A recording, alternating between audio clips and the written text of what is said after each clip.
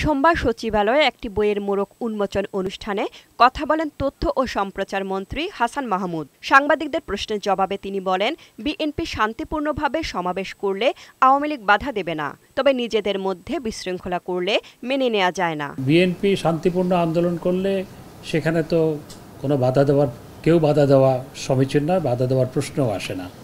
সেখানে প্রশাসন থেকে শুরু করে সবাই সহযোগিতা করছে। কিন্তু বিএনপি কি সবসময় সেটি করে? গতকাল তো চট্টগ্রামে তারা নিজেরা চেয়ার ছোড়াছড়ি করে, নিজেদের সমাবেশে গণ্ডগোল করেছে।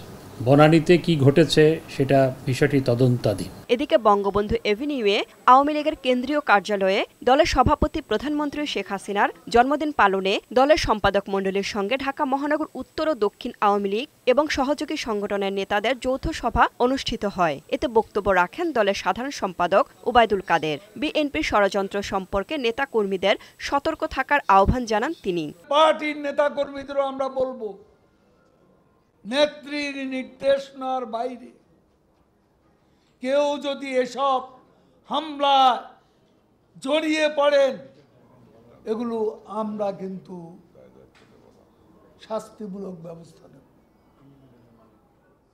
আমরা কাউকে ছাড় দেব না বঙ্গবন্ধু কন্যা শেখ হাসিনা পরাজিত হলে বাংলাদেশ পরাজিত হবে বলেও মন্তব্য করেন আওয়ামী লীগের সাধারণ সম্পাদক তানজিলা নিঝুম, বৈশাখী সংবাদ, ঢাকা